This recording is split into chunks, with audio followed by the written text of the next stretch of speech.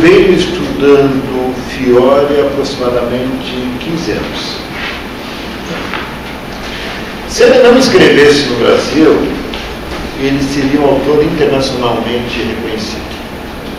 Esse é uma característica importante. Nós temos que ter clareza que, do ponto de vista da teoria, nós não somos centro, e sim periferia. José Luciano vem fazendo um esforço para pensar não uma teoria de relações internacionais, mas para, para pensar o conceito que dá substrato a toda a teoria das relações internacionais, que é a noção de poder. Esse é o ponto básico. Quando a gente pega um autor internacional, ele não se preocupa muito em definir poder. Ele automaticamente supõe que o seu leitor saiba do que ele está falando. E na maioria dos casos, as definições que eles usam são muito simplísticas, do tipo A tem poder sobre B na medida que leva B fazer o que A deseja por qualquer condição. Ou seja, eles não se preocupam em discutir o elemento central do poder, que são as relações. Então, as relações parece que não são colocadas, mas elas estão implícitas. Para o leitor de primeira viagem, isso é um pouco complicado. A mesma coisa a definição de poder utilizada. Todos tendem a trabalhar o conflito, mas é no conflito que as relações de poder podem ser melhor observadas quando os atores que realmente detêm poder conseguem emergir nessa situação, conseguem se impor perante os demais autores. Muito bem, dando continuidade, minhas auxiliares de hoje. Bom, fazendo uma, uma rápida, um resumo rápido da biografia dele, José Luiz Fiore é, fez filosofia, sociologia e mestrado em economia, todos no Chile. É, doutorado em ciência política pela USP e pós-doutorado no ano de 2005 na Faculdade de Economia da Universidade de Cambridge. É, tem inúmeros é, é, livros, mas podemos citar talvez os, os, principais aqui, que seriam o Voo da Cruz, 1985, Em Busca de Dissenso Perdido, de 89, uh, Para uma Economia Política do Estado Brasileiro, 1993, Os Moedeiros Falsos, 1997, é, Globalização, Fato e o Mito, 1998, O Desenvolvimento das Nações, é, 1999, O Brasil no Espaço, 2001, Polarização Mundial e Crescimento, de 2001, Poder Americano de 2004 e o que a gente vai discutir hoje, que é História, Estratégia e Desenvolvimento de 2014. Obrigado, Cristiana. Faltam dois livros aqui importantes, que são O Poder Global e O Mito do Poder Americano. São livros de 2006 e 2007. Se você pegar até 2000, Fiore é um autor que está preocupado com o desenvolvimento. Se inscreve naquela escola latino-americana desenvolvimentista. E depois do ano 2000 é alguém que entra fundo em discutir poder. Com formação original na área de ciência política e sociologia e filosofia, ele está deveras documentado para fazer essa discussão. E aí ele envereda de vez para a ciência política e a política internacional. E ao fazer isso, ele se aproxima e muito das relações internacionais.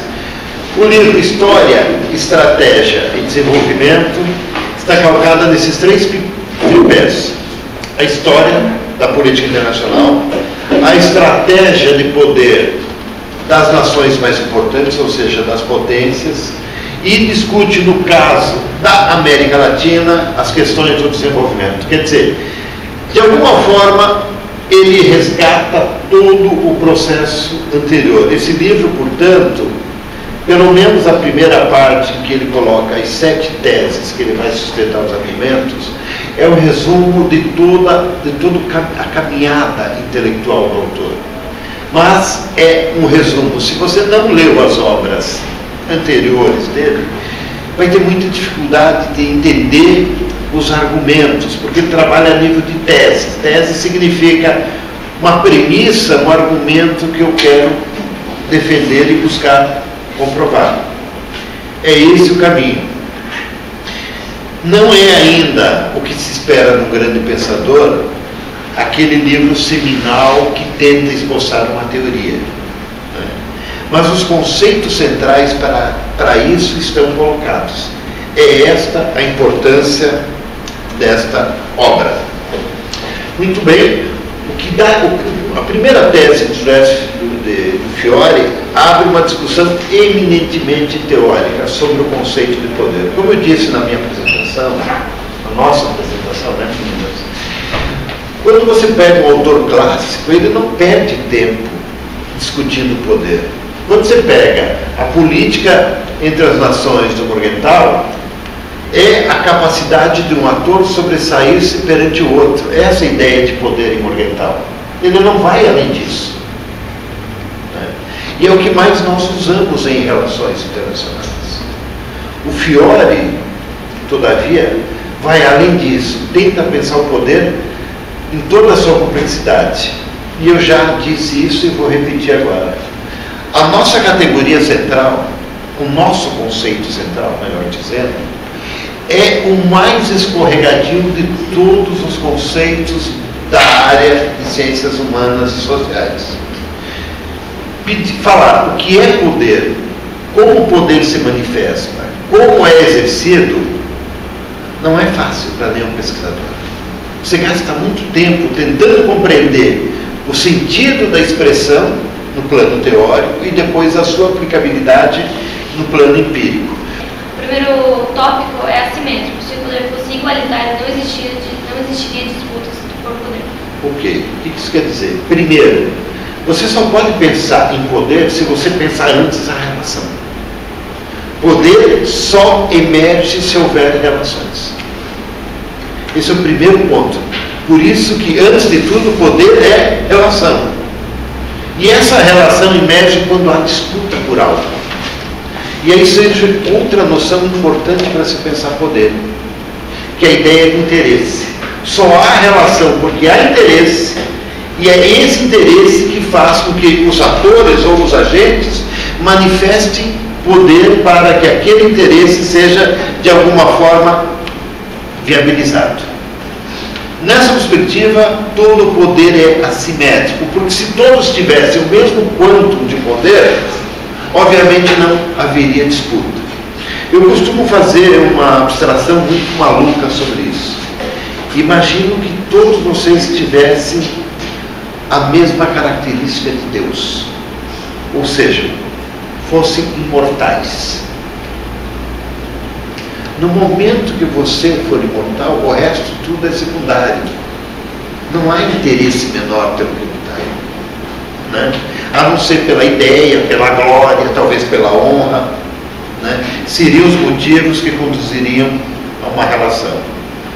Portanto, voltando para o mundo dos mortais, toda a relação que é assimétrica significa que alguém está se impondo ao outrem. Agora, esse que está sofrendo a imposição do ator com maior quanto de poder procura reagir. E aí é que se tem as disputas.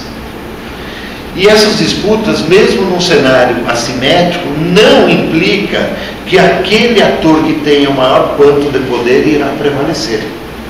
Vai depender das estratégias e de como o poder é exercido e dos elementos de poder que cada ator dispõe nessa relação. Próximo. O segundo ponto é limitado. O poder é algo que não, se pode, não pode ser dividido. Por isso é sempre disputado. Poder é disputa. Por quê? Porque se você divide poder, você perde poder. Um ator que, de alguma forma, abre mão de parcela do seu poder ou de quanto do seu poder, abre mão de poder, perde poder. Este é o ponto. Há apenas uma situação em que você dividindo o poder, você tem mais poder. É nas estratégias de aliança. Mas lembre, mesmo numa estratégia de aliança em que você ganha poder, você corre o risco de poder, perder poder se essas alianças não forem feitas de forma estratégica há que ter um objetivo político no final dessa aliança. E nenhuma aliança é para a vida toda. As, as alianças, quando há poder em disputa, são muitas vezes circunstanciais. E isso produz os jogos pelo poder e os jogos do poder.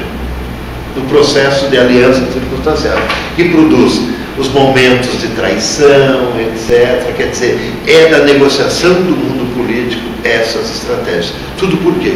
Porque o poder não se divide, o poder é limitado. E é na luta pelo poder que as estratégias são produzidas. Vamos lá? Terceiro ponto é relativo. O exercício do poder produz uma hierarquia e se um ator perde poder, automaticamente os outros atores ganham poder. Vou explicar isso aqui fazendo uma analogia. Quando nós olhamos para o cenário internacional, nós vemos que todos os estados são soberanos iguais, juridicamente. Politicamente, economicamente, do ponto de vista territorial, do ponto de vista econômico, do ponto de vista populacional, não. Agora, entenda o seguinte: quem disputa poder são os estados, não são as pessoas. Né? Nas relações internacionais, a hierarquia de poder é dos estados, não é dos países ou das civilizações. Qualquer nação, qualquer civilização, qualquer sociedade, qualquer grupo humano quer viver o melhor possível. É possível haver disputa, relações de poder entre eles, mas não no nível que se dá essa relação entre os estados. Então, a hierarquia dos estados significa do que tem mais poder ou que tem menos poder. Agora, isso é sempre transitório. Porque, como o poder é relativo, há sempre uma disputa. Então, alguns sobem, outros caem. Dá para generalizar. Agora, cuidado, as potências não admitem perder poder. Por isso que grande parte dos conflitos nas relações internacionais são ações produzidas pelas potências para evitar a perda de poder. O quarto ponto é heterostático. Uma, uma variação no poder de um ator implica uma reação mais ou menos imediata na parte desfavorecida, em busca de um novo equilíbrio. Muito bem. Imagina o seguinte: sistema de vasos intercomunicantes. Uma caixa de água naquele prédio e nesse prédio. Se elas estiverem ligadas, o nível das duas caixas de águas tendem ao equilíbrio.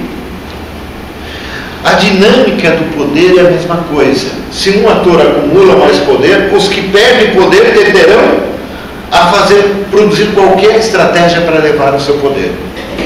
É por isso que aparece para nós muito claramente a ideia de balança de poder, ou de equilíbrio de poder, ou, como os ingleses dizem, balance power. É um mote como não há possibilidade concreta da derrota total do opositor, porque sempre se levantará outro, a ideia de equilíbrio de poder é o que norteia os estrategistas. É essa a perspectiva da heterostatia, a busca permanente do equilíbrio. Pode haver momentos em que o poder se desequilibra, e é esses momentos em que os conflitos mais emergem. O que estabiliza, portanto, o sistema é a busca do equilíbrio. Se há desequilíbrio, aprofunda-se a simetria, os conflitos emergem com mais intensidade. O quinto ponto é, é triangular. Toda relação de poder implica em pelo menos dois vértices, um interno e um limite externo. Essa analogia tem a ver com o seguinte ponto. Eu já comentei antes que no cenário de poder assimétrico ilimitado, se um ator perde poder, ele busca um outro elemento para ampliar poder, que é o sistema de alianças. Então não é possível a todo momento você pensar poder apenas entre dois atores disputando. O ator que se sente mais fraco vai compor um outro vértice para ampliar poder e fazer frente aquele outro ator que detém mais poder. Por isso, a analogia de pensar como um triângulo. Então, a ideia de sucessivas alianças, Se essa aliança acumula mais poder, o ator que ficou em vantagem busca também construir alianças. Por isso, nós teríamos uma sucessão de triângulos que vão se constituindo, né? que nós tenderíamos a chamar de relações bilaterais ou multilaterais, né? ou alianças em eixos determinando as relações. É porque essa é uma característica do poder, de incorporar outros atores num cenário de que você está menos favorecido. Vamos adiante? Sexto ponto é o fluxo. O poder deve ser exercido continuamente, senão perde-se poder. Ponto. Quem tem poder, se não exerce poder, simplesmente perde poder. Portanto, esse é o grande desafio. Como manter o exercício de poder? Não é possível dizer, eu cheguei ao ápice e agora vou descansar. Não existe isso no mundo do poder. O poder precisa ser exercido constantemente. Trazendo isso para as relações internacionais, seria o seguinte: eu cheguei à hiperpotência, eu sou o number one. Você não pode parar, esse Estado não pode parar de exercer poder. A todo momento tem que se preocupar com os que estão abaixo da hierarquia, evitar que eles subam.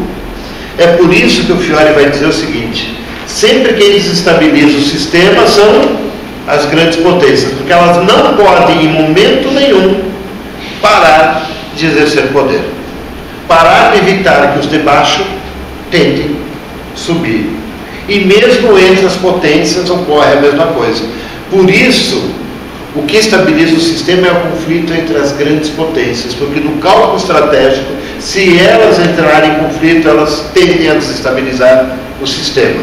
Foi o que ocorreu na Primeira, na Segunda Guerra Mundial e nas três guerras que alçaram as três últimas grandes potências do sistema. Na independência americana, na guerra de 1776, na guerra de 1810-14 na Guerra Franco-Prussiana e na Guerra de 1905 entre o Japão e a Rússia, quando três países que não eram potências, consideradas potências, Estados Unidos, Alemanha e Japão, derrotam grandes potências. Nesse momento, inverte-se a balança de poder, incorporando-se mais atores. Foi o último momento em que novos atores foram incorporados ao grupo das grandes potências. Por isso a guerra é tão importante nas relações internacionais. É a prova das armas, é quando muda a balança de poder. Mas alguém desce e alguém sobe. Próximo. Sétimo ponto é sistêmico. Não é possível pensar o poder sem supor a existência de outras unidades de poder, que se multiplicam na forma de um sistema de poder. Ok. É muito fácil a gente mentalmente dizer que há apenas dois atores disputando poder. Não. Se a gente pensar, quando o primeiro Estado da era moderna se unifica, Portugal, logo em seguida outro ator emerge, Espanha. Esses dois atores vão depender de um tratado para regular a relação entre eles, que é o Tratado de Tordesilhas. Né? E a partir daí novos atores vão surgindo. E esses novos atores vão interagindo no processo. E todos segundo a mesma lógica partilhando e disputando poder. Naquele contexto, o processo inicia na Europa. E ele é expandido através das estratégias da acumulação do poder dos primeiros estados europeus, que é o colonialismo. Depois o imperialismo. E hoje não há nada mais a disputar. Portanto, a lógica da disputa de poder muda de características. A gente vai trabalhar isso daqui a pouquinho. Próximo. O oitavo ponto é expansivo. Como o poder triangular e sistêmico necessita se expandir sobre si mesmo. Caso contrário, haveria apenas um jogo de soma zero. Vamos observar uma coisa. Parece que são sinônimos, né? Poder como fluxo deve ser exercido continuamente.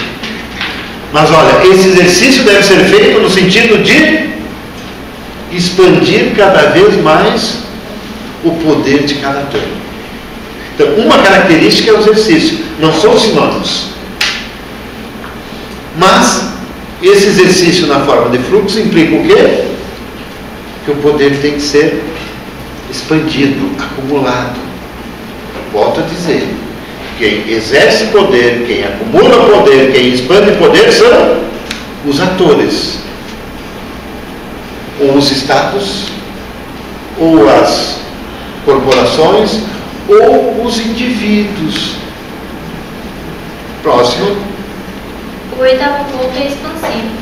Como poder é triangular, nono, o nono ponto é indissolúvel. O poder é origem de si mesmo e só desaparece se for conquistado integralmente. Os alunos de Relações Internacionais, quando leem o Oriental, devem lembrar da imagem do Império Mundial. Né? O Império Mundial ou global significa que alguém conquistou o poder total e, portanto, você não tem mais um sistema interestatal, você teria um império. Você não tem mais forças armadas independentes. Teríamos a polícia mundial. Ponto. A reflexão básica é a seguinte: até isso ocorrer, quantos conflitos seriam produzidos? Quantas guerras seriam produzidas? Porque a soberania de um Estado é a capacidade dele ser juiz e promotor de suas casas, quer dizer, no seu âmbito, no que ele for soberano, ele não abre mão de exercer poder. Tudo isso seria substituído se um ator conseguisse dominar todos os outros e impor o império universal. Você pode, no sistema interestatal, pensar nessa estratégia? Não. Mas, quem sabe, Jesus volte logo e aí nós teremos.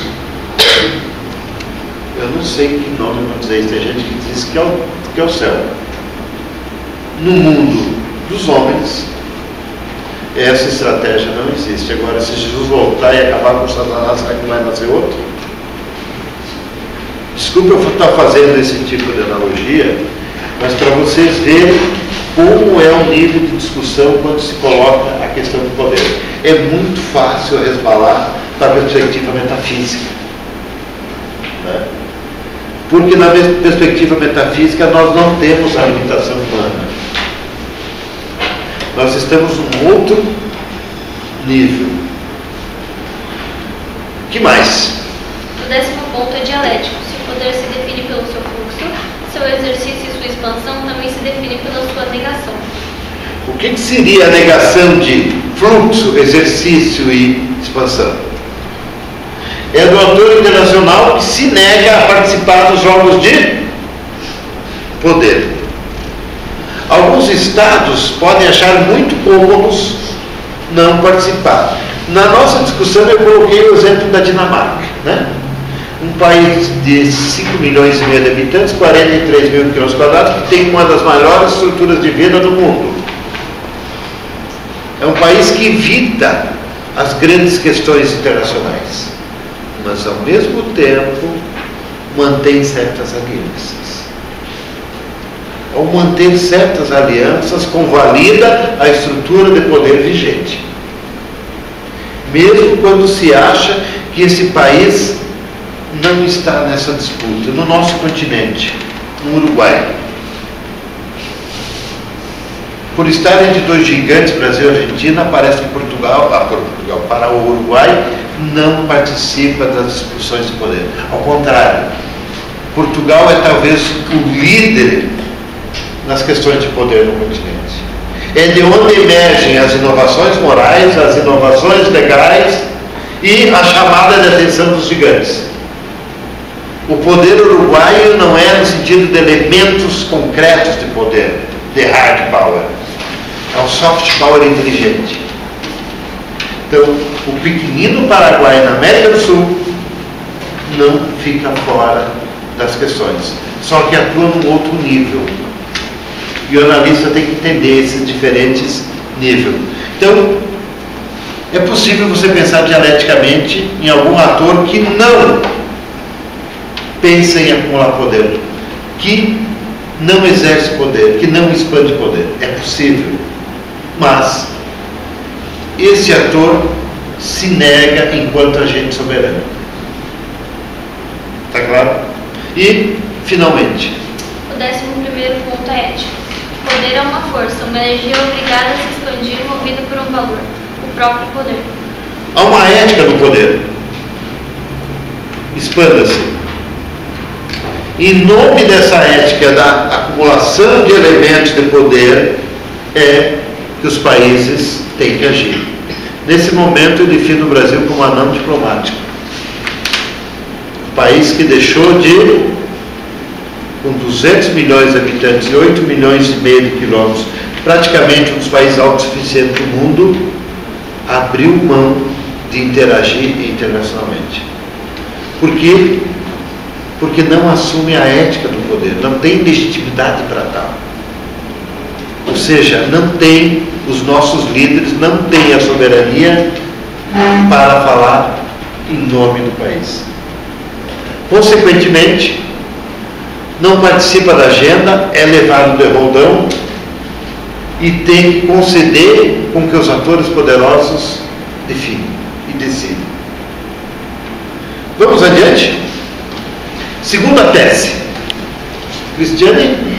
Bom, na segunda tese, é, Fiore fala sobre a sedentarização do poder e da relações, das relações de eh, poder entre os homens. Ah, a sedentarização do poder criou territórios e fronteiras mais estáveis e implicou em mais pressão competitiva, o que multiplicou a pressão e, produzi, e produziu uma sucessão de guerras, porque no caso quem não subia, caía. Obrigado. Sedentarizar o poder é deixar claro que esse poder vai ser exercido sobre um território e sobre os indivíduos que nele habitam.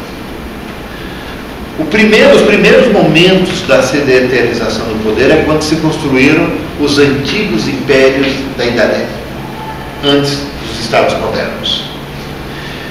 Na Idade Moderna, a sedentarização do poder começa com a formação dos primeiros Estados. Nesse processo, a guerra foi a ferramenta utilizada.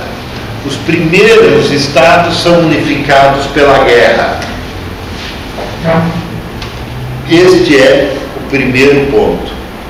Obviamente que este processo implica uma determinada lógica, que são aqueles oito princípios da ética do poder.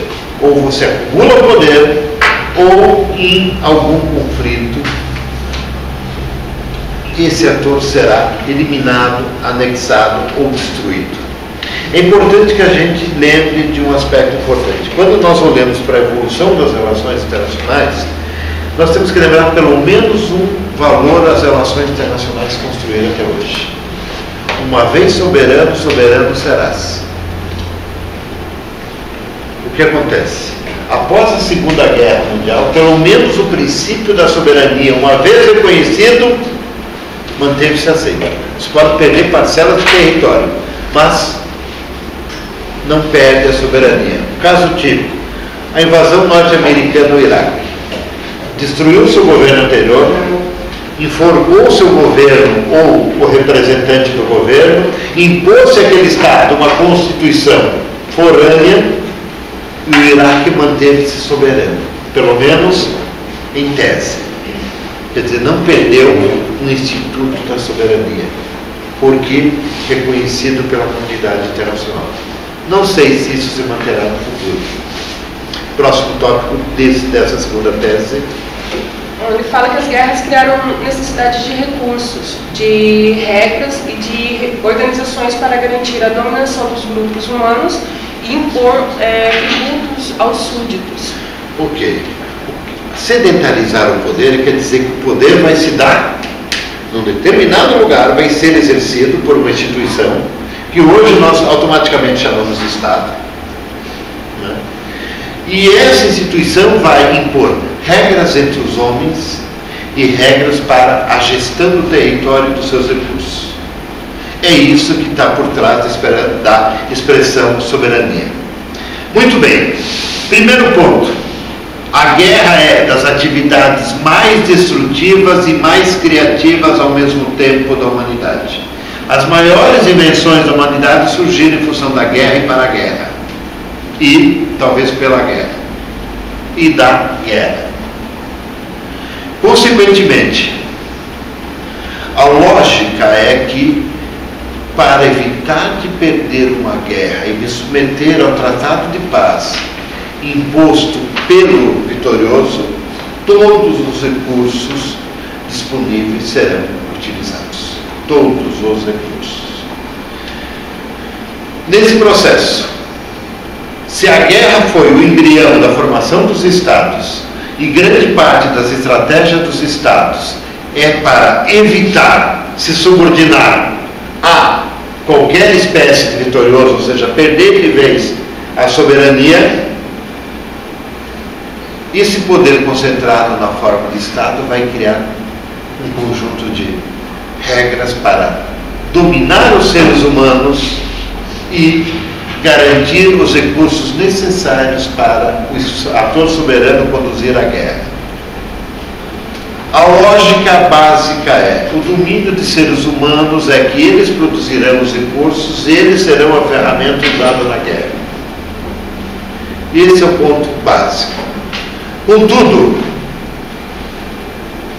o elemento mais importante é que esses, esses agentes humanos que no passado recebiam o nome de súditos, e hoje, na maior parte dos estados ditos civilizados, recebem o nome de cidadãos, são mobilizados pelos agentes de poder para produzir as condições de existência dele mesmo, a condição de existência dos estados e a garantia da soberania. Esse é o argumento mais importante. Poucos estados colocam isso para os seus cidadãos e poucos cidadãos têm noção disso pelos agentes do poder. São, portanto, usados. Próximo tópico. Ah, os tributos para sustentar o poder criaram a necessidade de mais produção e de mais produtividade. A via das inovações tecnológicas foi a resposta encontrada. Senhor quer dizer nesse ponto que a dinâmica econômica foi dada pelo Estado, não pelo mercado, não pelo capitalismo. Mas toda a lógica de organização da economia, que é o elemento básico da organização da vida produtiva cotidiana e da geração de excedentes que vai ser capturado pelo Estado, vem do mundo do poder, não do mundo das trocas, não do mundo do comércio, não do mundo do mercado quem organiza os processos produtivos é a vida, a via do Estado. E como isso é feito? Próximo tópico. A dominação e a conquista introduziram a moeda pública e o sistema privado de crédito, qual foi fundamental para financiar as guerras e a expansão estatal. Muito bem. Eu adoro falar essa palavrinha muito bem, gosto dela. A invenção da moeda a moeda nasceu como um agente do mundo privado. Os banqueiros eram do mundo privado. Mas, em determinado momento, o soberano criou a moeda pública e obrigou os súditos a usá-las. E ao obrigar o súdito a usar o dinheiro estatal, esse súdito foi obrigado a sair da produção de autossuficiência para a produção comercial. Por uma razão muito simples para conseguir o dinheiro estatal com o qual ele devia pagar o tributo, ele devia comercializar, ele devia produzir para vender. Porque sem isso, ele não tem acesso à moeda estatal. E toda vez que o Estado aumenta o tributo, esse indivíduo tem ser mais produtivo, mais eficiente. Essa tese é tão importante porque ela vai totalmente contra o argumento liberal que uma sociedade em que as pessoas são livres para empreender, que os tributos são baixos, será uma sociedade mais rica e mais produtiva. O argumento aqui é totalmente contrário. É o Estado que, quanto mais cobra tributo, mais retira excedente, mais faz os indivíduos, as empresas serem mais criativos. E é nesse processo que as inovações tecnológicas, portanto, vão produzir. Agora, é importante lembrar que mesmo esse processo imposto pelo Estado não é suficiente para gerar recursos para o Estado fazer frente à competição internacional. É nesse, nesse processo que os Estados vão criar um agente privado de crédito ou vão proteger determinados agentes, para que, nos momentos de crise, nos momentos de guerra, o sistema privado de crédito seja o grande financiador do Estado. Portanto, os bancos privados, os bancos que criam moeda como crédito, são aliados do Estado para, um, defender-se do inimigo externo ou agir de maneira expansiva. Os países que mais eficientes foram nesse processo são as atuais potências do sistema internacional. Foram elas que mais expandiram seus territórios. Foram elas que mais conseguiram expandir sua moeda para outros países, ou no jargão das relações internacionais, internacionalizaram a sua moeda. Ou seja, mais países e mais empresas e mais indivíduos passaram a usar a moeda do país vencedor. Ou seja, passaram a depender do sistema de crédito das potências. E essa é uma característica fundamental. E isso não vem do mundo da economia de mercado. Isso vem do mundo do poder dos Estados. Para chamar a atenção do que a gente já viu agora, eu optei por trazer a nossa memória novamente Morgenthau. Se nós estamos discutindo o poder, quais são os elementos do poder nacional? Talvez a lista mais exaustiva já apresentada por um autor clássico das relações internacionais é o capítulo, se não me engano, 6 ou 7 do livro do Morgenthau, titulado Os Elementos do Poder Nacional. Primeiro elemento de poder do Estado é sua própria geografia. Como assim? A geografia implica em duas variáveis fundamentais: a localização e a posição estratégica. É fácil de ser defendido? A posição estratégica está próxima às vias comerciais, permite controlar pontos nodais da circulação de mercadorias. São características fundamentais porque dão a esse país uma capacidade maior comparativamente a outros países. Vamos pegar um exemplo bem simples. A Síria está em guerra. Olha os atores fronteiriços da Síria. Permitem à Síria ter maior autonomia e liberdade de tomar decisões? Se brincar um pouco a norte, enfrenta a Turquia. Se brincar um pouco a oeste, tem encrenca com Israel. Se brincar um pouco a leste, tem encrenca com a Arábia Saudita com Emirados Árabes. Só o Irã é aliado. E brincando ao sul tem Estado Islâmico e Iraque. E fora as potências externas. Imagina um outro cenário, uma França na Europa. Agora imagine os Estados Unidos com duas costas, mares livres, e norte, Canadá aliado, e o sul, um aliado envergonhado, México. Olha a flexibilidade de manobra que esse país tem tanto para a defesa para como, como controle das vias de circulação. Então a posição e a localização geográfica são fundamentais. Segundo, recursos naturais. Uma grande potência tem que ter sob o seu controle os recursos naturais necessários não à economia de mercado, ao poder do Estado. É essa estratégia que move as grandes potências. Por isso, tem dois países nesse momento em crises sérias de identidade. Esses países chamam-se Inglaterra e Japão. A Inglaterra, com o Brexit, vai fazer o quê? Virar paraíso do livre comércio?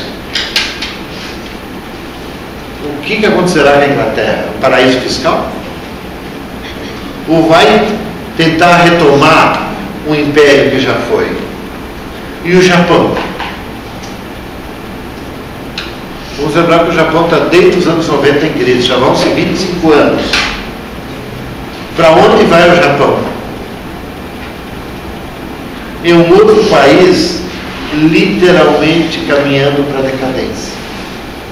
Por mais que o país esteja na fronteira do avanço tecnológico, qual é o problema japonês e inglês? Eles têm ótima localização, ótima posição estratégica. Mas a limitação de recursos, de alimentos, de matérias-primas, fazem deles dependentes de alianças estratégicas.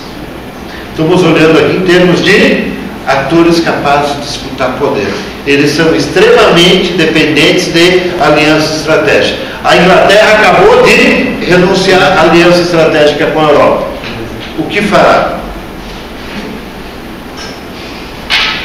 E o Japão questiona os custos de uma aliança estratégica com os Estados Unidos. Qual é o caminho que o Japão tomará? Temas que a gente tem que investigar com mais detalhes. Estrutura e capacidade industrial no país. O país que quer ser potência não pode ficar atrás tecnologicamente dos países mais avançados. Esse é o problema nesse momento enfrentado pela Rússia, que volta a questionar a sua posição na hierarquia internacional de poder. E essa é principalmente a estratégia chinesa. Autonomia tecnológica industrial a nível de ponta do cenário tecnológico mundial.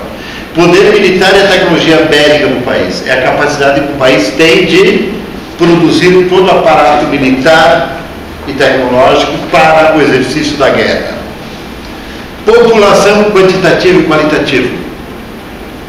É necessária uma grande população para exercer o poder.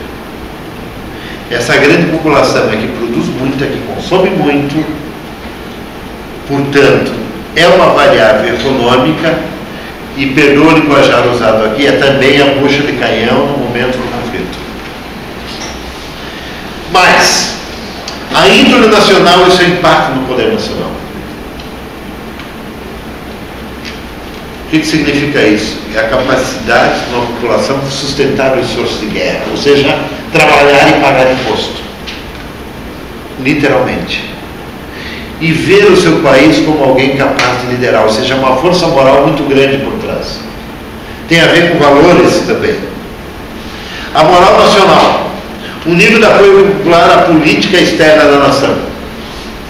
Vocês já imaginaram como é que a população brasileira imagina a nossa política externa? Vocês imaginam como é que foi tratada as questões de política externa na última eleição nesse país? O nível infantil de diálogo de política internacional que foi transmitido na última eleição? Não é? Vou nem me limitar a discutir. Diplomacia de alta qualidade, atuação do país em questões chaves. Eu não vou pegar o Brasil de exemplo, que, bem ou mal, o Brasil sempre teve uma diplomacia de alta qualidade. Um país, quando não tem poder militar para se impor, tem que investir em algum diferencial de poder. E foi o que o Brasil fez. Mas vamos lembrar que um país que tem o maior déficit de diplomacia chama Estados Unidos da América. Os Estados Unidos da América têm um problema de formação dos diplomatas hoje, nos últimos 20 anos, depois que eles adentraram, digamos, ao neoliberalismo. Era muito comum nos Estados Unidos serem selecionados alunos modelos em ciência política, em ciências sociais e economias, e serem removidos com bolsas de estudos para universidades de elite para trabalhar nas estratégias de Estado. Num passado muito meio recente, os Estados Unidos trocaram isso por chamados think tanks, núcleos de pesquisa em política internacional. São dezenas de think tanks nos Estados Unidos fazendo isso profissionalmente. E o que, que acontece? O problema é que os estadistas que elegem nomeiam geralmente os doadores de campanhas como diplomatas, como embaixadores. Gente, e diplomacia é a construção da política internacional de uma nação junto a outra nação permanentemente. Cada diplomata tem uma agenda para tratar com o país e vai construindo essa agenda, negociando, dialogando permanentemente a política externa americana virou política externa de ultimatos. Está comigo contra amigo, desculpa a simplificação da coisa. São poucos casos em que você tem um corpo técnico capaz de construir permanentemente a agenda de interesse do Estado junto a outros países. Isso depende de gente preparada, não de um doador de campanha. Ou como era costume no Brasil, nomear o amigo ali que incomodava para embaixador de Portugal. Né? Nós tivemos uns quantos, Itamar Franco, é, o Bornhaus aqui de Santa Catarina, foi tudo mandado passar em Blumenau, em Portugal, para não incomodar. Tinha o fator da língua e ficava lá fazendo turismo. E eu acho que nós vamos caminhar logo, logo para isso de novo. Né? Nós vamos perdendo algo que a gente veio construindo nos últimos E, por fim, ah, isso aqui me angustia. A qualidade do governo na condução da política externa. Acabei de fazer uma crítica ao nosso governo, né? um anão diplomático. Eu acho que é pior um anão, deve ser um jabuti diplomático. Tá? Eu sei que está gravando, mas eu não quero que corte.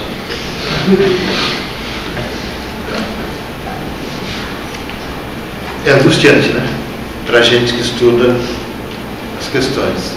E, nós, e os nossos jabutis aqui estão reduzindo política internacional a tentar conseguir uns pontinhos a mais no comércio internacional, como se isso fosse a solução.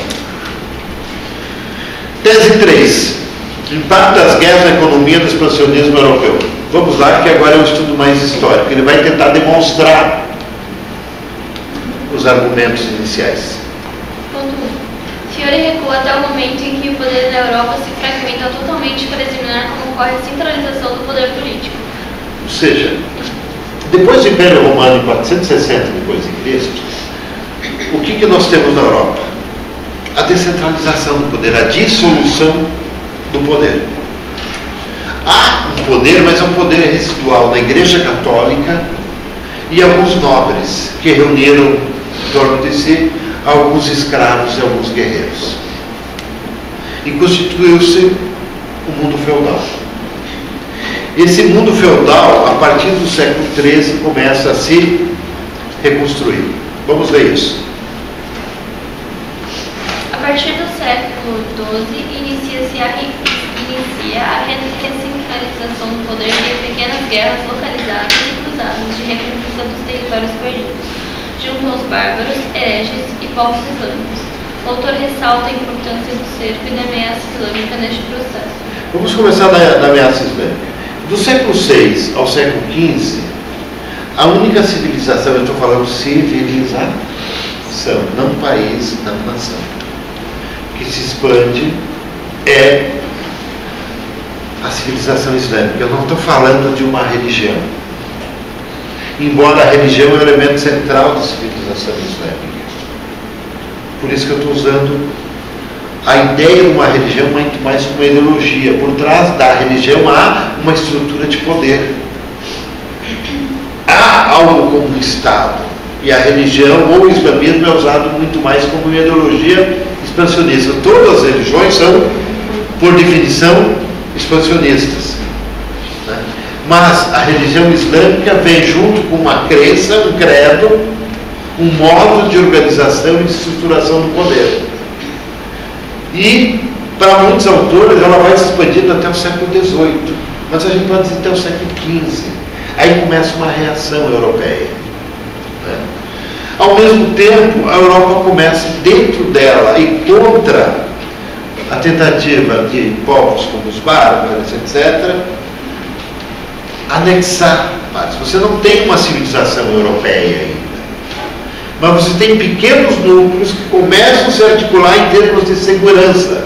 Então, o elemento segurança é o primeiro momento que vai erigir uma recentralização, ou como ele disse na tese 2, uma sedentarização do poder. O que, que acontece aqui? O medo.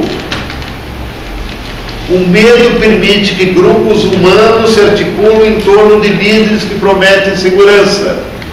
Esses são os primeiros indivíduos que vão recentralizar o poder e estarão na origem dos estados modernos.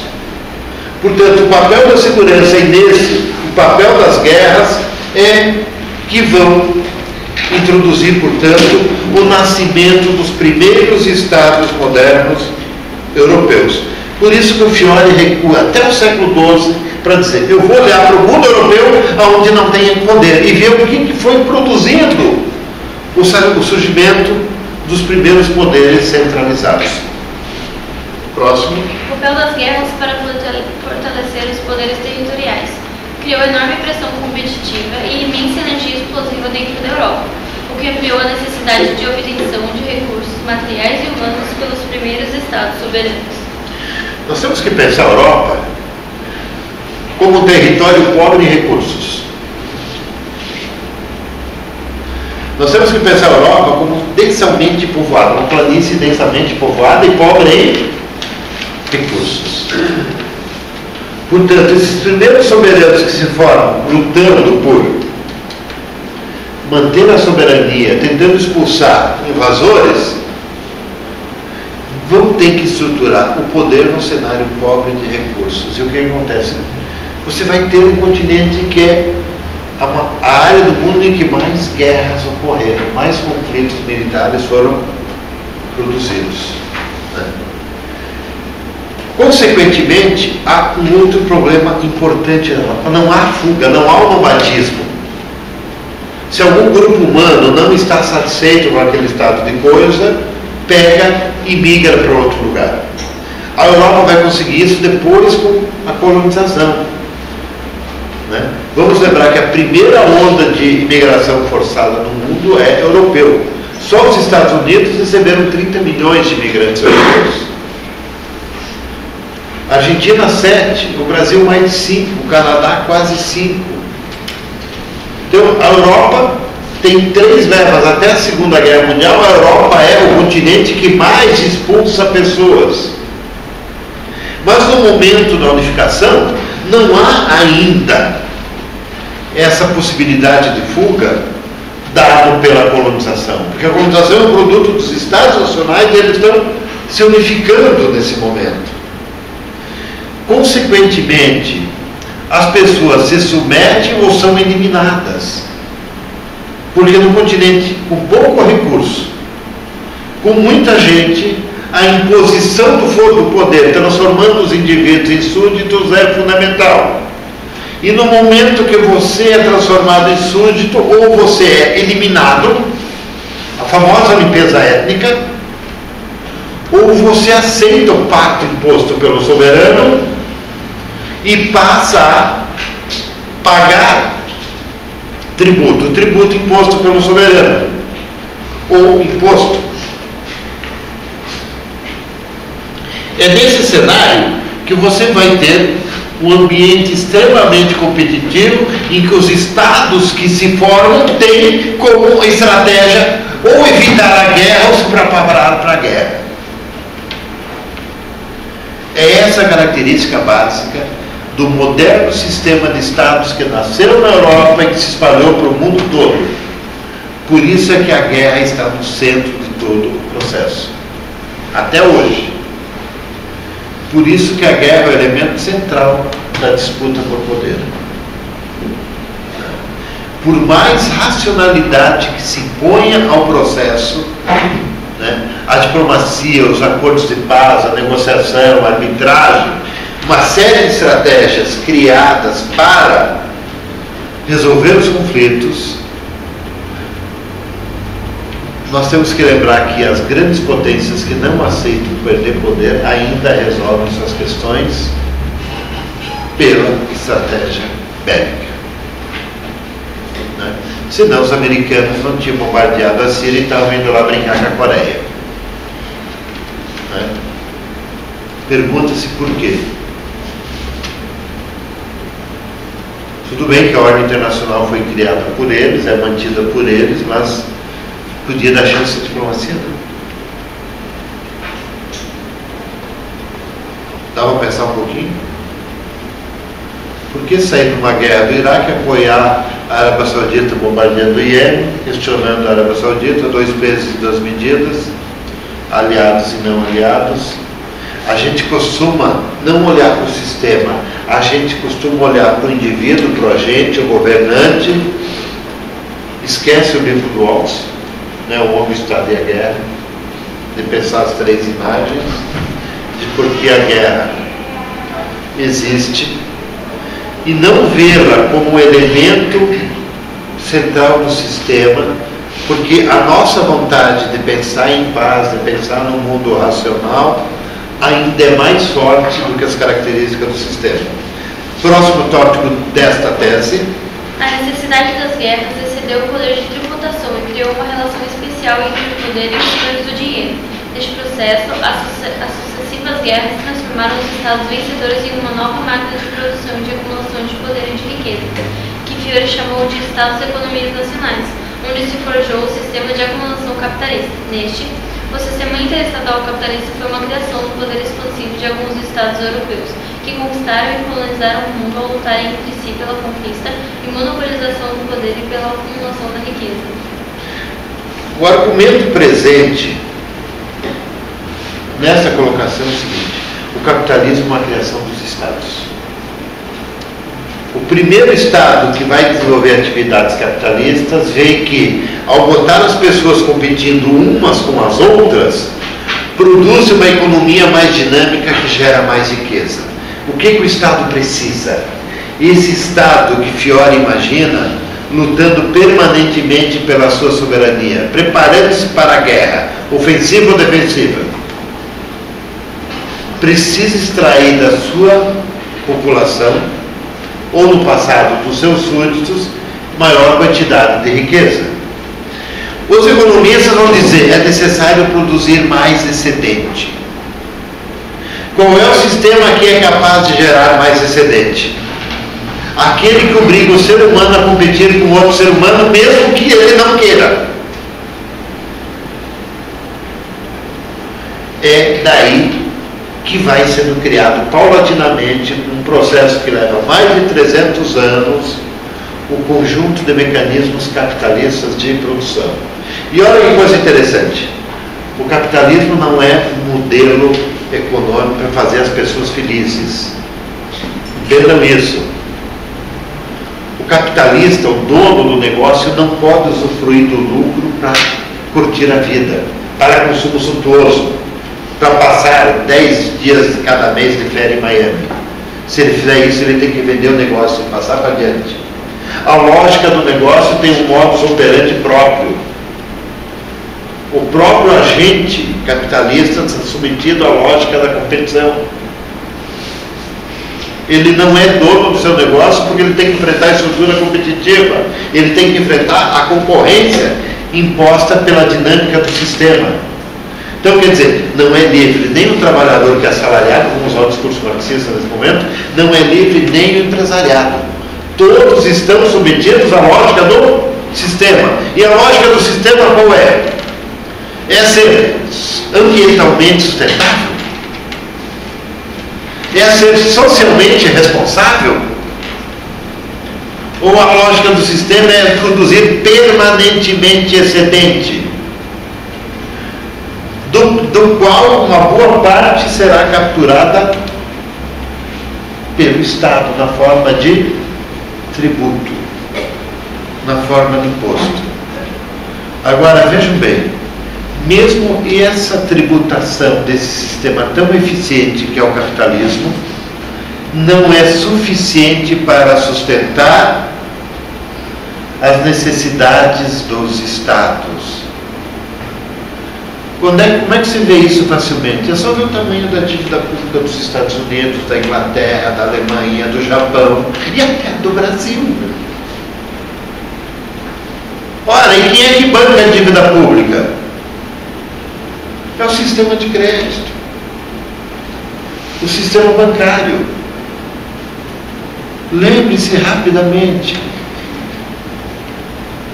Por que, que o Estado tem dívida se não pode criar dinheiro? Né? É essa aliança estratégica. E veja bem, quanto mais eficiente for essa aliança estratégica entre os donos do dinheiro e a estrutura de poder, mais eficiente é a estratégia de expansão política e econômica desses estados. Por isso que todas as grandes potências têm atrás de si um sistema eficiente de financiamento da estrutura do Estado e a própria dívida pública do Estado é usada como garantia para levantar mais crédito para o empreendedorismo nacional. Como assim? O título da dívida pública que eu compro do governo é entregue um banco para levantar crédito para o meu empreendimento pessoal. Então, a dívida pública é a base de todo o endividamento do sistema econômico. Todas as grandes potências do mundo hoje estão lastreadas em extensas dívidas públicas e têm atrás de si um ótimo sistema de crédito. Agora lembre, esse sistema de crédito não adianta nada se esse Estado não produz um sistema de inovação que permite a ele ter uma dinâmica industrial de ponta. Uma coisa está ligada à outra. Porque eu vou fazer dívida para quê? Se não é para ser competitivo internacionalmente. Então eu tenho que ter domínio tecnológico na fronteira do conhecimento, um sistema de crédito eficiente, etc, etc, etc, etc. Vamos olhar para o Brasil da pena. Né? É o patrimonialismo, o grupo de estudo de segunda-feira, que estuda a favor, né? deve estar notando isso. A nossa elite não precisa competir, a nossa elite precisa garantir os privilégios. Né? Nós não temos o inimigo externo e nós não temos carência de recursos. É diferente. Né? E nós não nascemos da guerra como os Estados Unidos, Japão, Alemanha, Inglaterra, França. Está claro? Nós compramos a nossa independência assumindo a dívida externa com de Portugal com a Inglaterra. Fácil, fácil. Você não tem nem o que reclamar. Vamos adiante, tese 4. A trata da tese 4 como o papel do poder na economia de mercado e para viabilizar a acumulação do capital. No caso, sem o impulso do poder, a economia de mercado capitalista tende a se descentralizar, se fragmentar e, no limite, a se desmonetizar. Meninas, vocês não querem falar um pouquinho O que, que significa aqui? O que é economia de mercado? Primeira coisa que tem que ficar claro: não existe capitalismo sem economia de mercado, não existe economia de mercado sem capitalismo. Estou sendo claro? O capitalismo está totalmente baseado na economia de mercado. Mas você pode ter mercado sem ser capitalista. Tem que ter clareza disso. Esse é o primeiro ponto. Então, professor, pode conceituar a economia de mercado Hã? Economia de mercado é quando as relações entre as pessoas se dão através da oferta e da demanda. Economia capitalista é quando você tem um processo de extração de superlucros. Pela estratégia, de formação de conglomerados, monopólios, oligopólios, em que tudo tende a ser precificado. E por trás disso você tem um sistema de crédito criando dinheiro ou criando moeda na forma de crédito. Essa é a diferença. Você tem por trás um sistema de grandes bancos. Você pode ter economia de mercado em que você cria dinheiro como valor o dinheiro estatal, pode ser o dinheiro lastreado, pode ser um dinheiro, um dinheiro comunitário baseado em horas de trabalho, qualquer estratégia que permite as pessoas trocarem excedente. Isso é economia de mercado.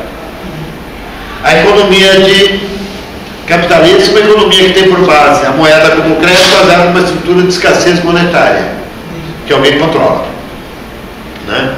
Então, olha lá, sem o impulso do poder, a economia de mercado tende a se descentralizar. Por quê? Primeiro ponto, quem é que garante o elemento básico da economia capitalista? Que é o direito de propriedade.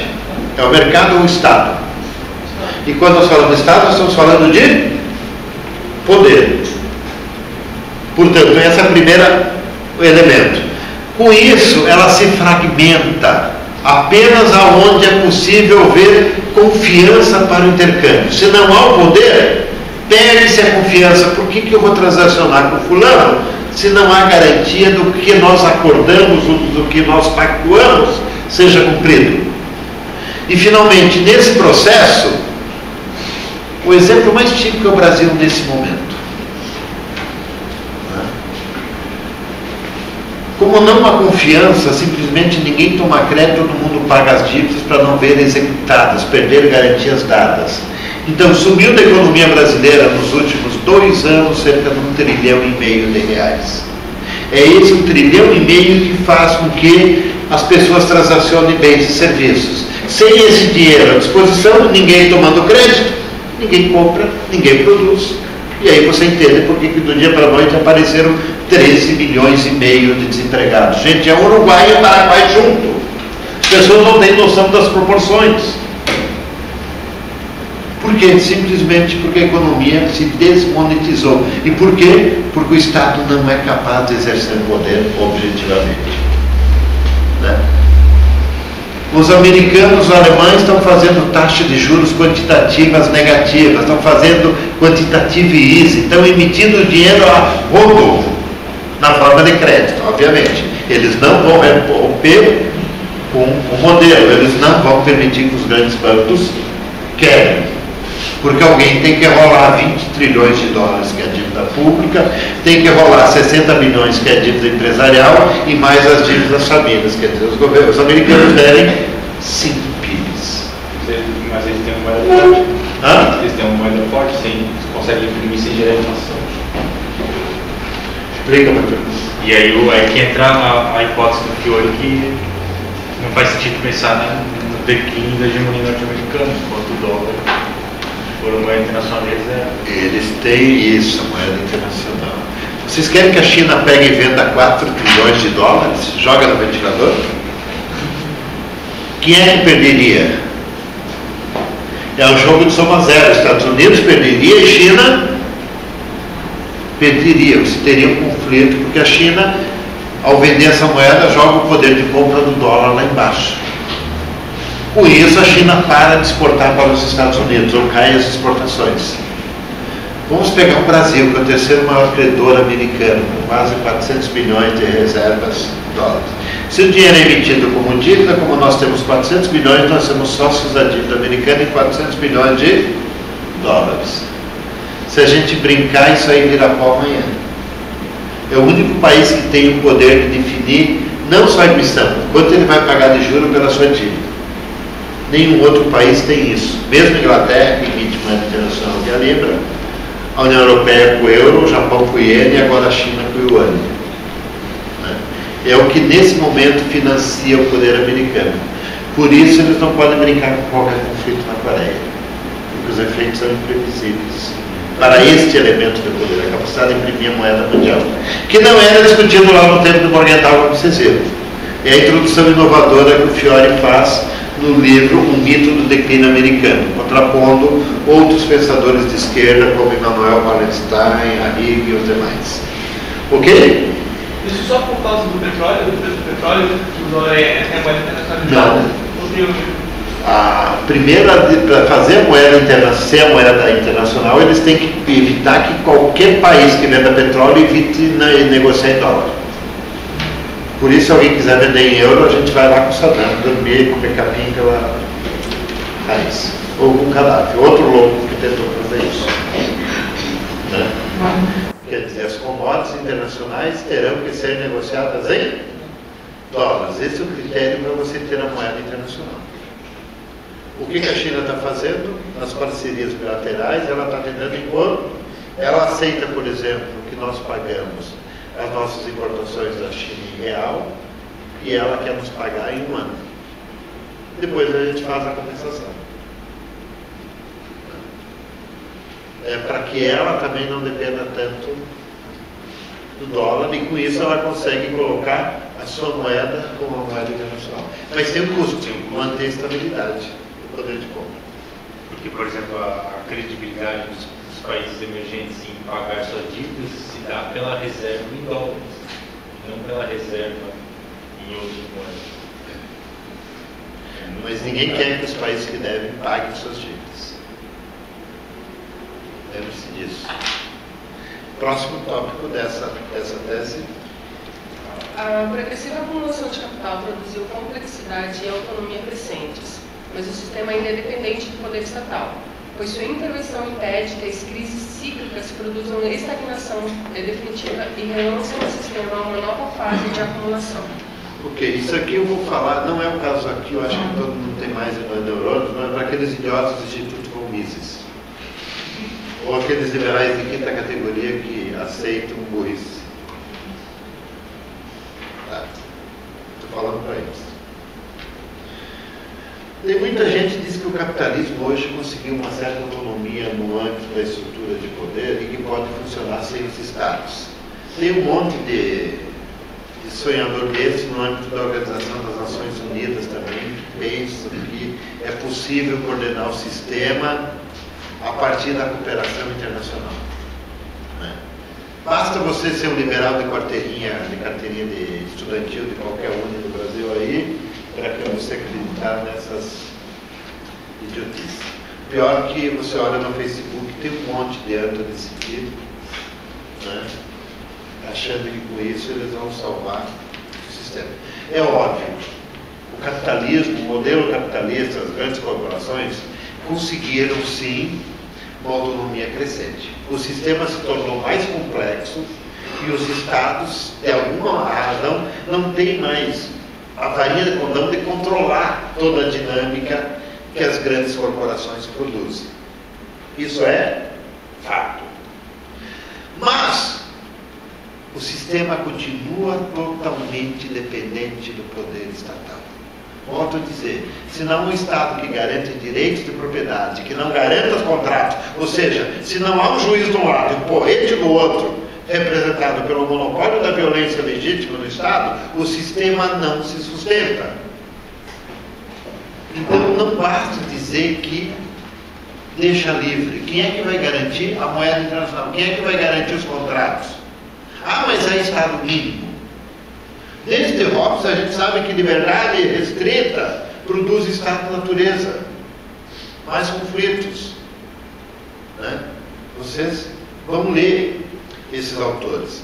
Portanto, o que, que o Estado faz ainda? Atua para impedir crises cíclicas que levam à estagnação excessiva, que geram conflitos sociais e, no limite, guerras.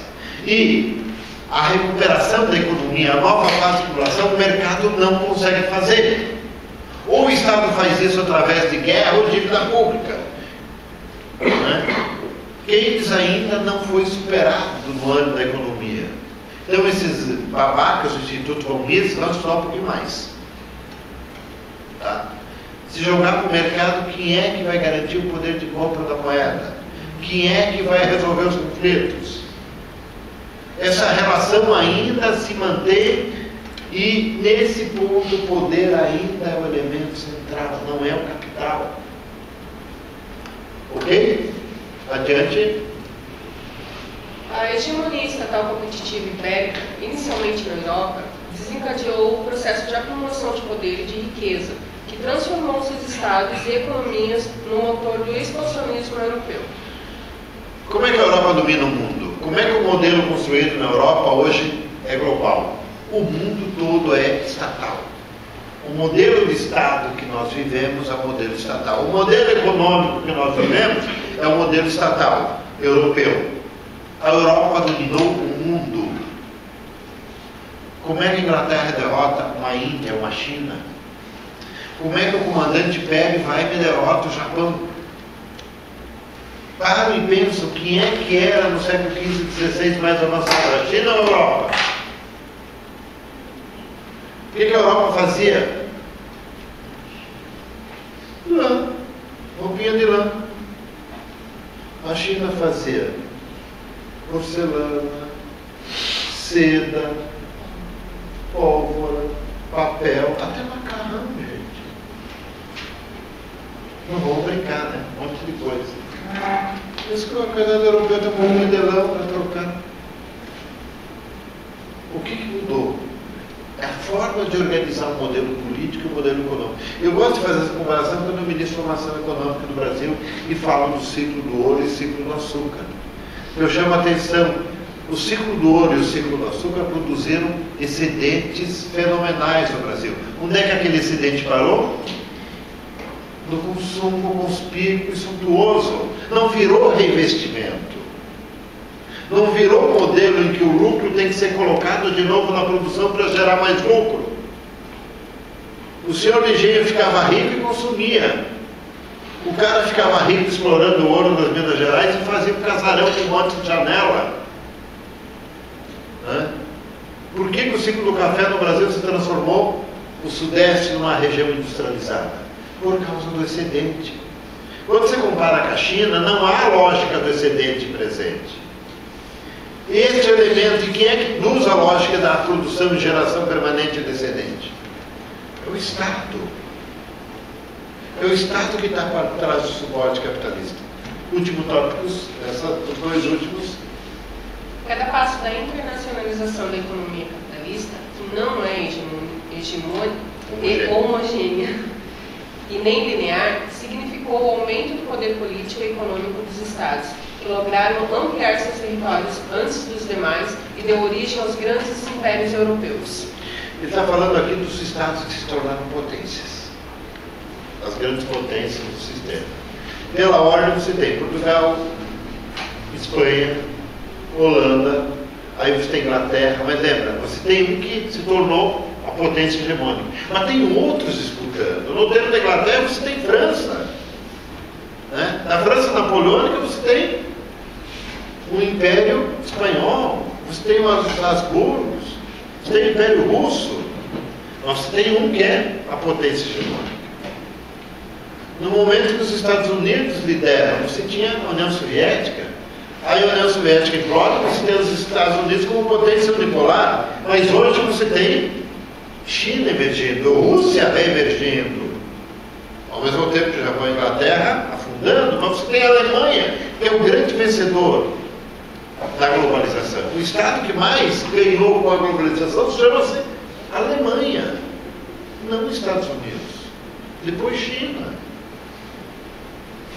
Então, o que acontece? Esse processo, ele tem uma coisa, não é homogêneo, e segundo, não é linear.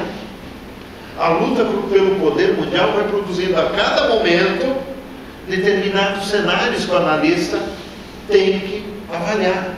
O comportamento estratégico das potências, as alternativas que elas produzem em cada contexto na disputa do poder mundial. E poder mundial esse que apenas transitoriamente é ocupado. E por favor, você pensa, o núcleo das potências é óbvio que você tem maior poder que a superpotência ou hiperpotência, muita gente chama até de império, né? mas que não consegue pagar os custos das suas guerras no Fiore, que é os Estados Unidos. Né? E para concluir, a energia que move todo esse sistema não vem do, da lógica econômico-financeira do sistema econômico do capitalismo. Vem da luta e da competição interestatal. Quer dizer, são as estratégias que os Estados conduzem para isso. Vamos pegar a última grande estratégia da competição interestatal. É a própria globalização. A globalização tem dono, tem cara, foi pensada. E foi a estratégia usada em 1961 para tirar os Estados Unidos da crise.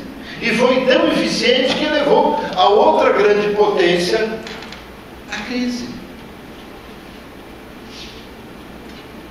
Os Estados Unidos, em 71, estão numa crise fenomenal. Estão perdendo a guerra do Vietnã.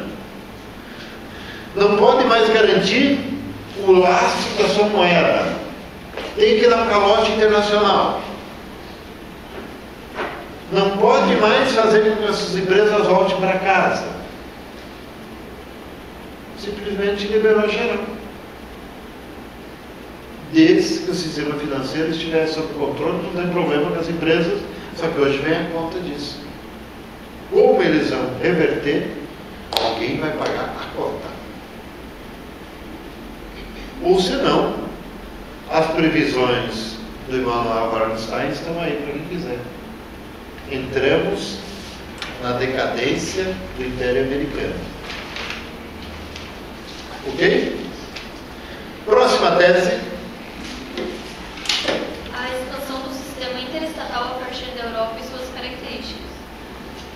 1. Até o fim do século XIX, o sistema interestatal capitalista 18, o sistema interestatal capitalista se dirigia à Europa.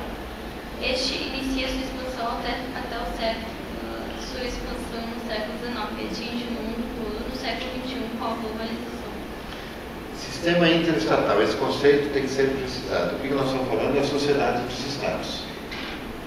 O sistema ainda é interestatal. Os Estados ainda são atores centrais na perspectiva de Fiore. Está claro isso? Então, bem, até o século, qual é o primeiro país a se formar fora da Europa que usa esse modelo? Chuta, Nicola. Portugal é a base do sistema estatal europeu. O primeiro a se formar. Estados Unidos, em 1776. O primeiro país a se tornar independente fora da Europa. É. E olha que coisa interessante, se torna independente derrotando uma potência em expansão. Por isso já nasce como potência. Já nasce dotado de soberania. Não precisou de nenhum favor de ninguém para reconhecer a sua independência. Obviamente apoiado por duas outras potências que queriam derrubar a Inglaterra, França e Espanha. Olha o papel do equilíbrio do poder, que ele coloca lá nos 11 princípios. Por que, que a França e a, e a Espanha têm que se meter numa guerra colonial contra a Inglaterra? O que, que elas ganharam? Reduziram o poder inglês. Único ponto. Século XIX. Brasil, Argentina, Haiti, Peru, Bolívia, nascem esses estados. Quantos países você tem na África no século XIX soberano?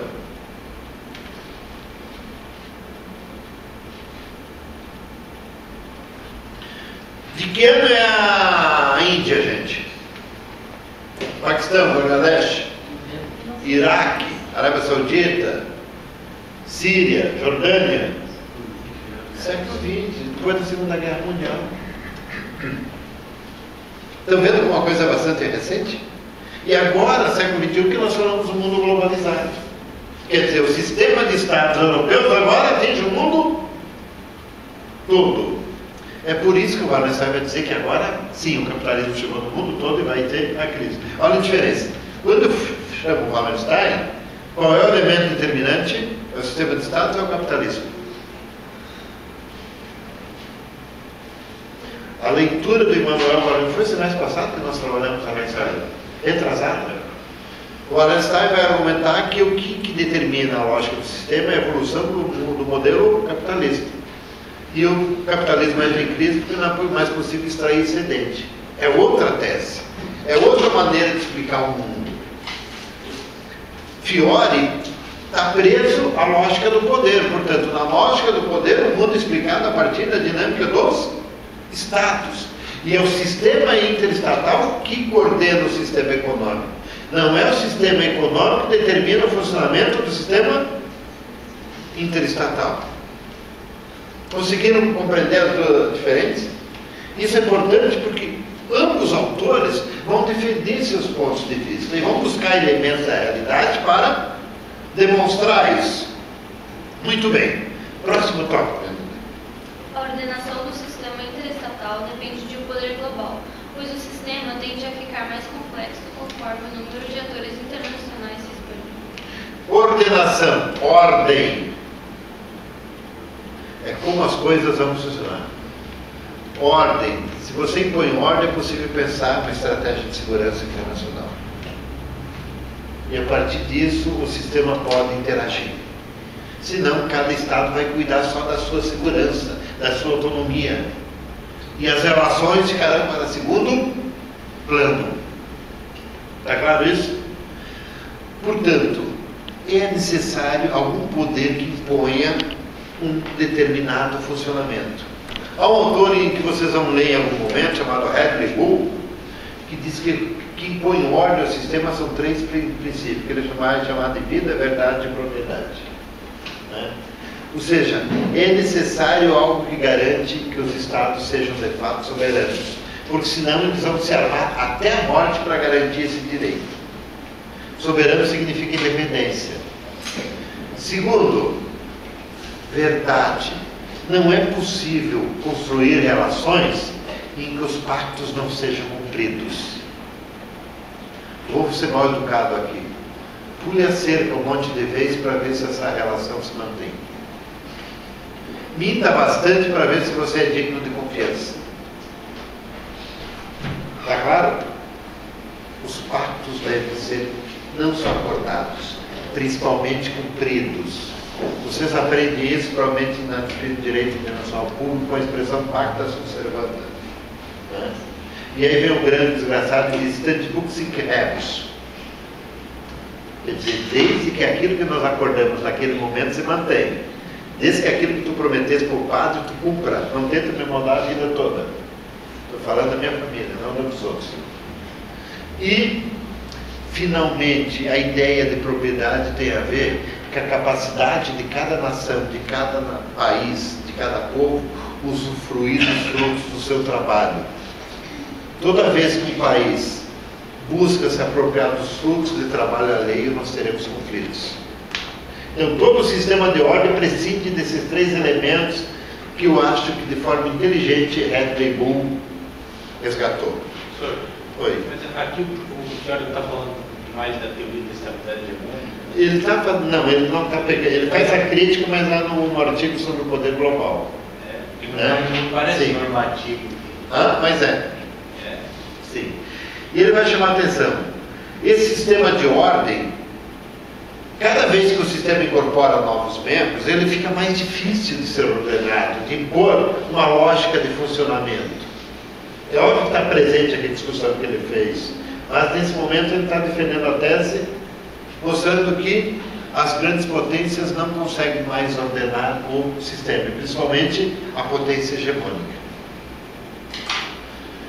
Três, vamos lá? A hegemonia e a governança mundial sobre o domínio de povos de língua inglesa não impediu a emergência de outros polos de poder e de outras lideranças. Até hoje, os europeus e seu- seus descendentes norte-americanos exercem um verda- verdadeiro poder estrutural por terem criado e controlarem o software do sistema e ainda exercem ao mesmo tempo supremacia militar e financeira mundial. Olha o que ele está dizendo aqui, hegemonia e governança. É importante lembrar que hegemonia significa liderar. E quem, se é um líder, é porque alguém aceita ser liderado. Está claro isso? Ali, e é o seguinte, a liderança não é gratuita. O liderado espera um obedece do líder. Numa empresa, alguém vira chefe porque com ele nós temos bônus mais altos, nós temos mais ganhos, nós. alguma coisa. Esse é o papel do líder. É fornecer valor aos liderados, fornecer ganhos. E com isso ele se mantém líder. E depois, na hora que ele não consegue mais fornecer benefícios aos liderados, os liderados tendem a derrubá-lo. Governança mundial quer dizer impor as regras como o mundo funciona. Fiore vai ser muito claro, vai dizer quem fez isso de forma magistral até hoje foram os povos de língua inglesa. A partir de 1703, eu costumo pegar como elemento norteador disso o Tratado de Mituim, quando Portugal se submete à Inglaterra, ali começa a ascensão do mundo inglês, e o mundo inglês, ou de origem anglo-saxônica é que põe a ordem, os valores, os critérios de como o mundo deve ser conduzido. Tenta pisar fora dessa aura aqui, você pode levar umas bombas na cabeça ou pode ser colocado como persona não grata. O nome que se dá hoje na imprensa chama-se comunidade internacional, sociedade internacional. né? Quando eles falam isso, associa logo. São os povos língua inglesa. É essa turma, e aí você junta com eles mais os alemãozinhos, os francesinhos, pronto. Essa é a comunidade internacional. O resto é o resto. É gente reclamando. Portanto, quem decide a ordem internacional, os valores que a comunidade internacional deve esposar são os povos de língua inglesa. Por isso vai falar, exerce o verdadeiro poder estrutural, por ter criado e controlado um software. O que é esse software? É o conjunto legal, as normas, o modo de conduta, o modo de agir. Muito bem. Putin entra nessa brincadeira? Não, ele questiona esse software. E a China? A China, por enquanto, não quer se meter. A China sofreu 100 anos de guerra do ópio, né, os 100 anos da dominação odiosa que eles chamam, e eles estão se preparando para nunca mais terem que passar por isso. Eu acho que o Putin não critica o software, ele critica a hipocrisia. Sim. É, porque é potência, porque quer voltar a ser que esses Potência. normas e valores Né? são. Então, quer dizer, não- e o que acontece? Eles não controlam só as normas, as regras jurídicas, políticas. Eles controlam também a hegemonia militar. Eles têm o poder militar para obrigar o filho ingrato a voltar para casa. E a supremacia financeira. Primeiro, eles usam a supremacia financeira, são as famosas sanções.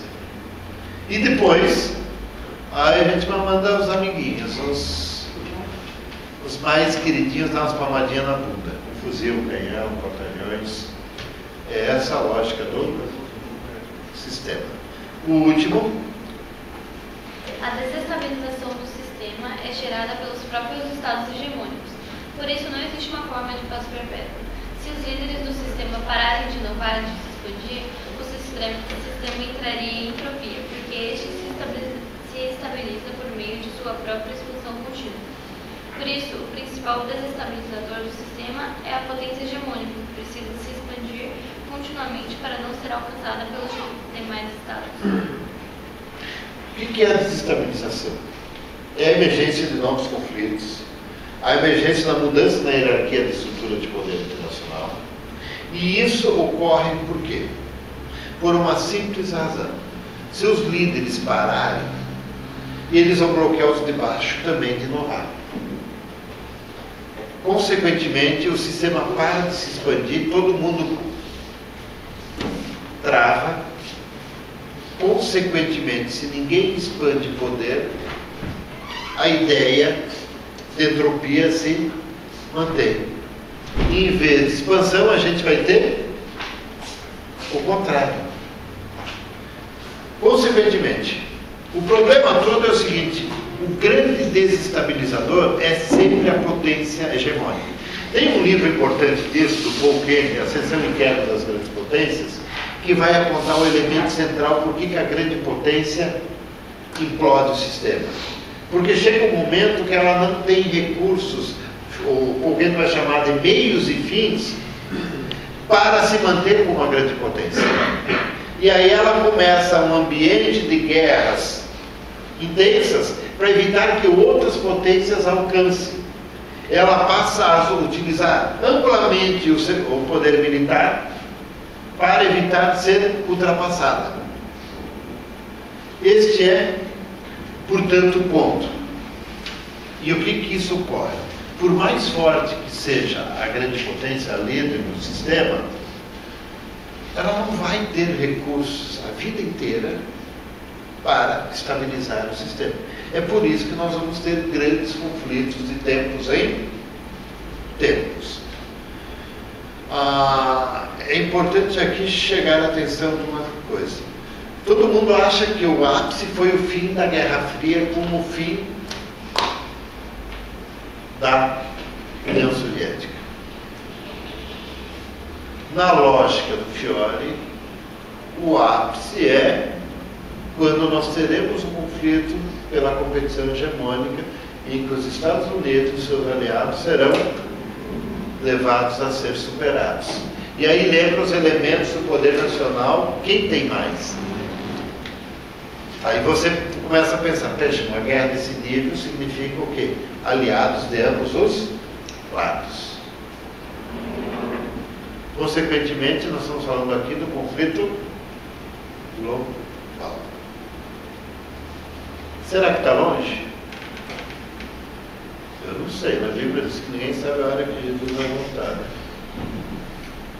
Então, e o nosso caso aqui? É que está todo mundo angustiado, está todo mundo misturando o aspecto místico com a realidade, porque a realidade não está previsível. Né? O que acontece? Muita gente sente que o sistema perdeu a estabilidade. E o que, que garante a estabilidade? Ordenamento imposto pelas grandes potências. Fui? Última tese.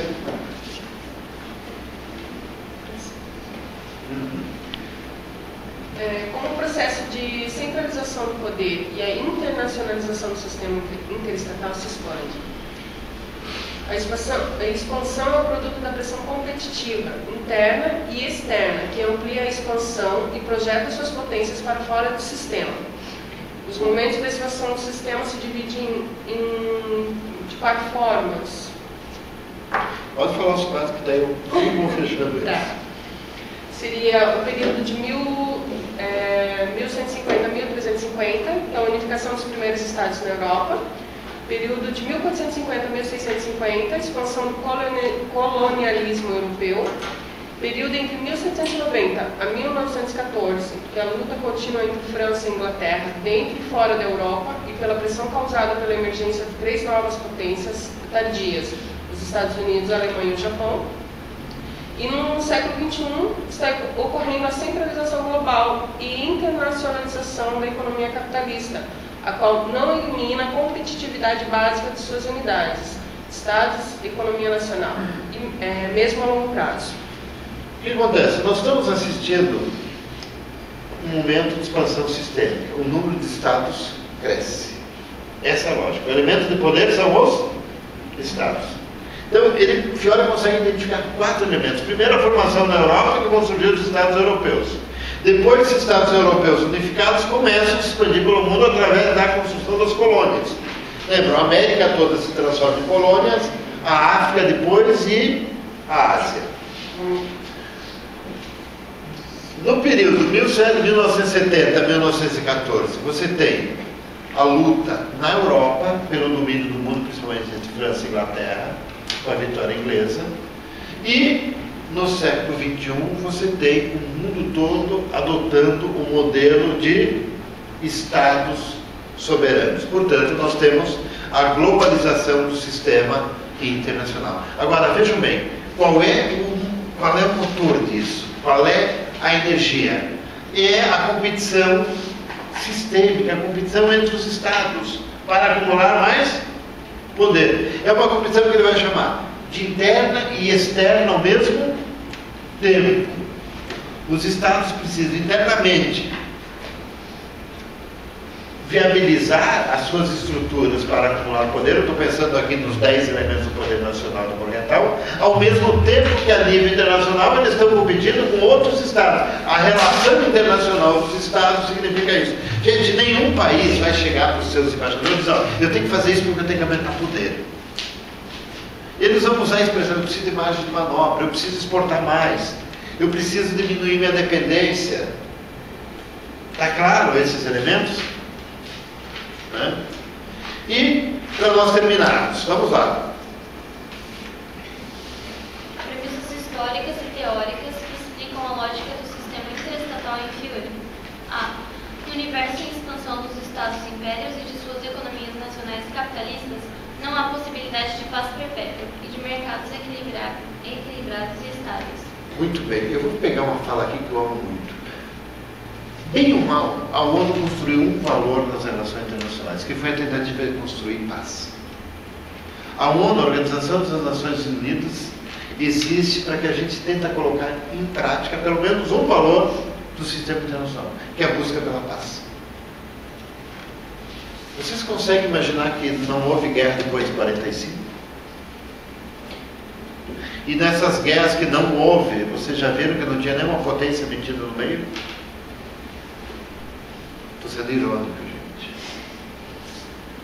Né? Você pega as guerras de descolonização e depois as guerras de imposição neocolonial, se podemos dizer. Mesmo com a construção da ONU, as guerras continuaram. E, ah, mas agora as guerras podem ser declaradas justas e injustas. Uma ova, cara pálida. A invasão americana no Vietnã. Hoje está provado que o incidente na Baía de Tonkin é uma armação americana, como eu acho que o, a questão da, dos gases tóxicos na China também é uma armação americana. Não tenho nenhuma prova, estou falando tudo. Mas é desde a da intervenção americana na guerra de Cuba que isso é regra. Eles criaram estratégias para entrar em guerra. A Inglaterra, idem, nesse sentido. chega um momento que as grandes potências precisam impor a sua lógica e a sua ordem pela guerra. A ideia é que não há possibilidade de paz perpétua. Por quê? Porque no limite, quando há uma disputa intensa, as grandes potências entrarão em conflito. Por isso me preocupa toda essa questão Rússia. Né? A Rússia foi o país que mais perdeu o fim da Guerra Fria, a União Soviética. Né? E é o país que vem tentando recuperar o espaço perdido. Se a lógica é quem sobe, quem não sobe cai, a Rússia precisa subir, mas quem cai? Está claro? Qual o sistema de aliança se impõe? Esse é o risco. Então, a ideia kantiana da possibilidade de pensar uma paz perpétua com líderes esclarecidos, denunciando organizações internacionais, não se sustenta na prática. Outra, mercados equilibrados estáveis. A lógica capitalista de que se o mercado for deixado livre, a economia vai se comportar. Não existe. Crises permanentes que levam à falência de milhares, milhões, sempre existirão. A economia não se autorregula como acham os liberais de carteirinha. Sem o Estado, ela implode. B. Não há possibilidade de que as grandes potências pratiquem apenas políticas de status quo, pois elas precisam se expandir continuamente. Política de status quo significa o seguinte: eu cheguei nesse estágio aqui, conseguimos o que nós queremos, todo mundo está vivendo bem, agora vamos ficar tranquilo. Abra uma empresa e faz isso, está estabilizado, para ver quanto tempo você demora para falir. A mesma coisa no país. Não há descanso nunca. Essa é a primeira coisa que um líder tem que aprender se um dia ele quer liderar alguma coisa. Tá? Por isso que líder, ele dá a vida a serviço de uma causa. Ele não tem família, ele não tem vida própria, ele vive pela causa. Que é o agradecimento do Estado. A única coisa que ele vai levar é sua biografia, mas nem isso pode escutar porque ele está morto. Consequentemente, o que, que a gente aprende? Todos os países, ou eles se expandem constantemente ou declinam. Por isso que o caso inglês é tão complicado hoje. O caso japonês, idem. Como é que eles vão continuar se expandindo? Olha os limites. E, finalmente, Não há possibilidade que a liderança de expansão econômica do capitalismo passe das grandes potências para a mão do empreendedor dos modelos de economia do mercado, típicas do- de- dos argumentos liberais. tradução, vou ser bem direto. Fiore está dizendo o seguinte, que a turma lá da- dos resorts lá da, da Suíça lá, vão controlar o sistema. Ou essa turma que gosta aí dessas teorias meio de conspiração da vida, é que é um grande modelo aí para os grandes capitalistas do mundo controlarem o sistema, a turma da nova ordem mundial, sabe, do Sião, que nome vocês queiram dar, né? Então você vê isso. As grandes potências não vão entregar o poder a meia dúzia de George Soros da vida. Fui claro? É mais fácil o George Soros desaparecer do que os estadistas. Embora muita gente dessas grandes corporações, ora estejam no Estado, ora estejam nas corporações. E para terminar, lembre o seguinte, a última frase: as grandes potências sempre recriaram seus concorrentes e ou adversários. Mesma coisa faz o capital, ele sempre recria novas formas de competição. Se você atinge o monopólio, eu crio, pego uma empresa de telefonia, eu crio um WhatsApp. A hora que o Bill Gates fica importante lá, eu crio um Google da vida. Não existe um monopólio e não existe império. Sempre surge algo que produza isso. Por quê? Porque as pessoas e os estados não se submetem ao domínio total. Era isso que nós tínhamos que trazer. A gente não encerra a discussão, mas a gente convida vocês a lerem os textos e aí os monitores aqui farão uma ajuda a vocês sem perceber.